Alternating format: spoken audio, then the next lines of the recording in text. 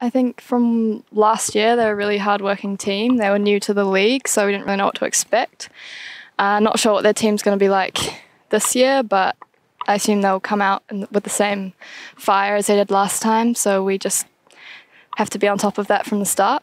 Uh, well, Ellerslie are a side who really work hard and, and they pr- they press high, the high intensity, and they make the game. They're very quick on the break and they make the game game hard hard to control. So I'm excited for how my uh, girls stand up for the challenge this weekend. How we do. We've been training pretty well. We've um, been pretty disappointed with our previous two results, but I think it's just made us train even better than before. So I think this week we're definitely going to give it all we've got and not not mess around the first few minutes as we have been. So we've we've got back on the grass tonight. They had a hard session in the gym yesterday, and tonight we're just back to try and get a, a, a, better performance this weekend. I think we are the quality that we train with has not has not transitioned into the games the last two games. So now we're looking forward to putting a real good performance and everything that's about us this weekend and what we do.